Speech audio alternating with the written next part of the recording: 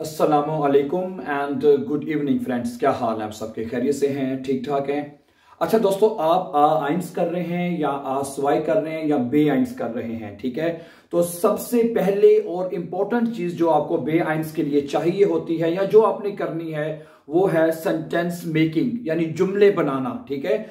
अगर आपको ये जुमले बनाने आ जाते हैं, ठीक है, और जो कि आज के लेसन में हम फिर मरतबा फिर सीखने जा रहे हैं तो मैं कहता हूँ गारंटी के साथ आप बे आइंस करना चाहे, जो भी आसवाई या आइंस कर रहे हैं, आप बड़े आराम से पास हो जाएँगे, ठीक है? लेकिन बशर्ते के आपको सही तरीके से आपको सेंटेंस बनाना आना चाहिए, ठीक है? जब आप सही तरीके से सेंटेंस बनाना सीख लेंगे, ठीक है देन फिर आप लेटर भी लिख सकेंगे, और जो सेपरेशन का ठाइल आइन है, स्वाय है, दराय है, कोई भी होगा, वो आप खुद कर सकते हैं माय डियर फ्रेंड्स गारंटी के साथ मैं आपको कहता हूँ, ठीक है?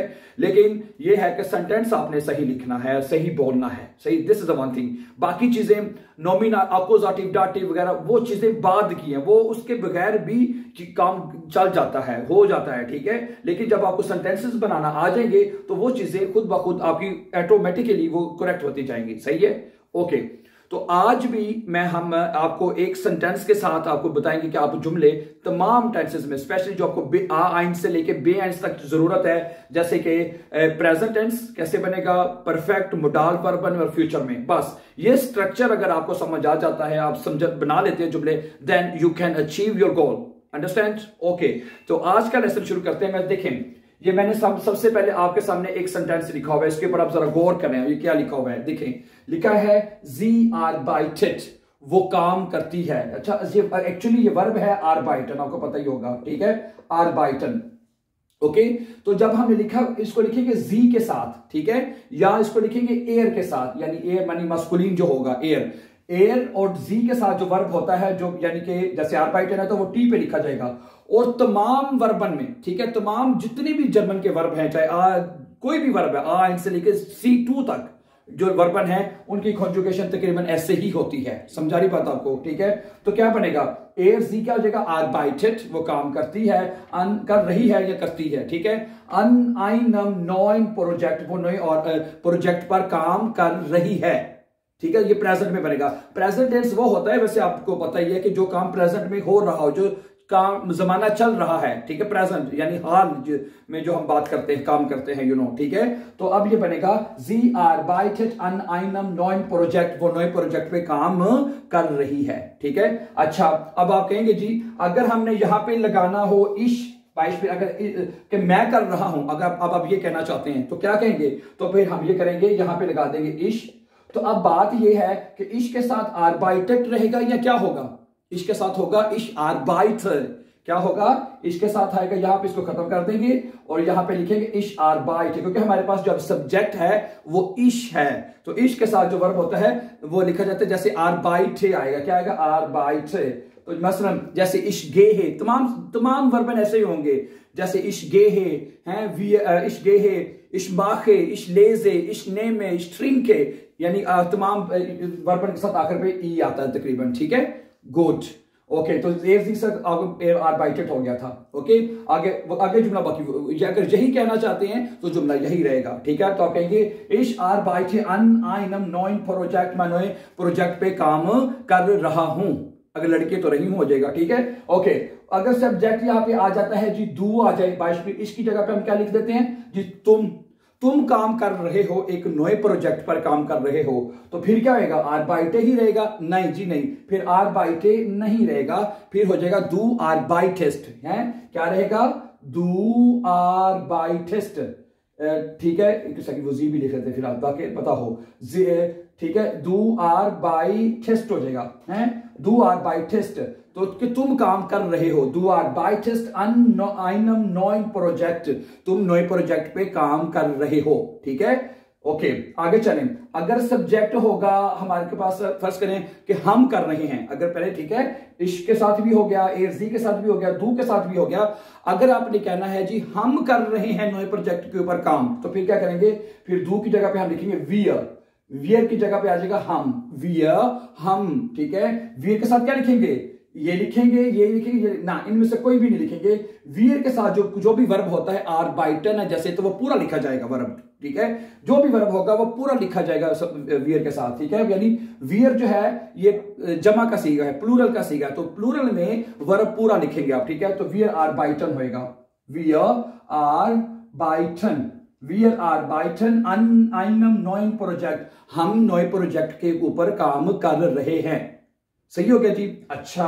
अगर हो, आपका पास सब्जेक्ट ईयर आई एच आर यानी तुम लोग हैं ईयर यानी ईयर का मतलब है तुम लोग तुम लोग काम कर रहे हो तो ईयर के साथ भी आता है आर्बाइटेड क्या आएगा? ईयर के साथ भी जो जैसे जी एयर और जी के साथ जो, जो लिखा जाता ना कि वो काम कर रहा है वो काम कर रही है तो ईयर के साथ ईयर के साथ यानी तुम लोग यानी एक से ज़्यादा जो प्लूरल फॉर्म होगी उसमें कहेंगे ईयर आर्बाइटेड अन आइनम नॉन प्रोजेक्ट। तो ईयर के साथ भी ये वाला आएगा आर्बाइटेड ठीक है?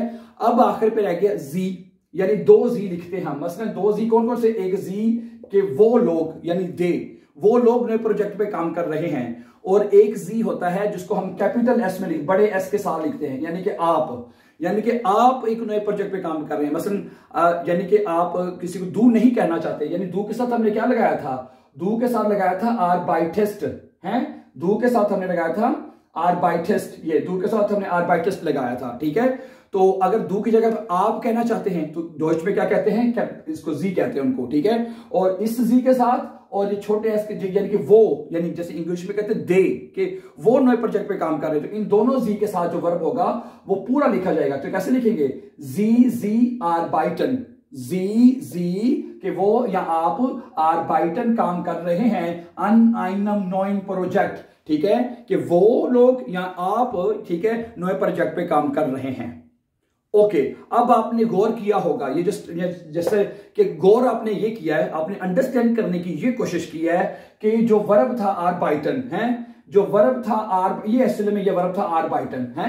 और तमाम वर्ब ऐसे जैसे गेहन स्पीलन वगैरह, तमाम वर्ब ऐसे ही होते हैं। अब आर बाइटन के साथ हमने क्या सलूक किया है? सलूक से मुराद है, कैसे जुमले बनाए हमने, ठीक है? हमने ये किया है कि जो जैसे जैसे हम सब्जेक्ट चेंज करते रहे हैं? जैसे हम सब्जेक्ट चेंज किया इश कभी यश इश लगाया कभी दू कभी वियर कभी ईयर कभी सी जब हमने सब्जेक्ट चेंज किया तो आर बाइटन वर्ब को भी चेंज करते रहे। समझा रही बात आपको? तो इस तरह जो जो चेंजिंग होती है यानी सब्जेक्ट की प्रेजेंट टेंस में इसको कहते हैं कॉन्जुगेशन क्या कहते हैं इसको? कॉन्जुगेशन समझा रही बात आपको? तो हमने क्या किया? हमने इस वर्ब को आ, मतलब कि जैसे दोबारा एक दो हम बता दें। सबसे पहले जो हमने पढ़ा था जी आर्बाइटेड वो काम करती है कर रही है, या करती है नोइन प्रोजेक्ट पे काम कर रही है, ठीक है? ये किया था? फिर हमने किया जी, इश इश के साथ क्या किया था? इश आर्बाइट इश आर्बाइट अन आइनम नोइन प्रोजेक्ट। मैं एक नए प्रोजेक्ट पे काम कर रहा हूँ। ये किया था हमने। फिर उसके बाद मैंने दू लिखा। दू के साथ क्या किया? दू आर्बाइटेस्ट यानी यही जो वर्ब आर बाइटन है, यानी जब कोई भी वर्ब होगा, उसको आपने प्रेजेंट टेंस में उसकी कॉन्जुगेशन करनी है। सिंपली। ठीक है? कोई इसमें कोई उतना हो और ये नहीं कि अब अगला नया वर्ब आएगा, उसकी और तरह से होगी। नाइन। हर वर्ब की कॉन्जुकेशन एक ही मेथड से होगी। ठीक है? जैसे कि अब यहाँ पे एक वर्ब ले लेते हैं, जैसे कि बिसालन। तो क्या होगा? इश बिसाले, दू बिसाल स्टेर बिसाल्ट। जैसे इश आर बाइट, दू आर बाइट स्टेर आर बाइट, वी आर आर बाइटन। यू नो दैट ठीक है? तो इस मेथड से my dear brother and sisters conjugation करके आप जुमले को बना सकते हैं। समझा रही बात आपको? ओके तो वीडियो तो होगी काफ़ी लंबी तो मैंने तो सोचा था हम परफेक्ट में भी बात करेंगे और फ्यूचर के में भी और मोडाल वर्बन में भी बात करेंगे, वो तो वीडियो तो घंटे की बन जाएगी। सही है, लेकिन नहीं, इसको फिर हम यहीं पे आज तकरीबन खत्म करने की कोशिश करते हैं कि रब आपका भला करें। कि प्रेजेंट को ही रहने देते हैं। तो अगली जो वीडियो होगी, इसी जुमले को लेके या कुछ कोई और, ठीक है, हम परफेक्ट में जुमले बनाने की कोशिश करेंगे। परफेक्ट में जुमले कैसे बनते हैं, ठीक है? तो हमें ये बात आज के लेसन में हमने समझने की कोशिश की है कि प्रेजेंट टेंस में प्रेजेंट टेंस में जो वर्ब होगा, जैसे कि आज का वर्ब था आर बाइटन उसकी हमने कैसे तमाम सब्जेक्ट के साथ उसकी कॉन्जुगेशन की है और जुमले बना, बनाए हमने। समझा नहीं बात आपको? ठीक है? तो अब आप भी कोई जुमला लें जैसे आप जुमला चेंज भी कर सकते हैं। इश आर बाइट अम वोखन एंडे। मैं वोखन एंडे पे काम करता हूँ। Du arbeitest am Wochenende. Du arbeitest jeden Tag. यानी कोई er arbeitet, wir arbeiten. ये ठीक है? इस तरह आप वर्ग को लेके कॉन्जुगेट करके उसके जुमले बना सकते अब हमारा अगला जो लेसन होगा ठीक है? वो इंशाल्लाह हम कोशिश करेंगे उसके ऊपर बनाएँगे परफेक्ट टेंस के ऊपर ठीक है? ओके तो लेकिन आज अब आपको हमने तफसील के साथ मैंने आपको बता दिया कि भाईजान प्रेजेंट में जुमला कैसे बना सकते हैं। Thank you very much for watching and before game please don't forget to subscribe our YouTube channel so that you can find our upcoming videos अपना बहुत सा ख्याल रखिएगा। अल्लाह आपका खुश रखे। See you soon take care Allah Nasir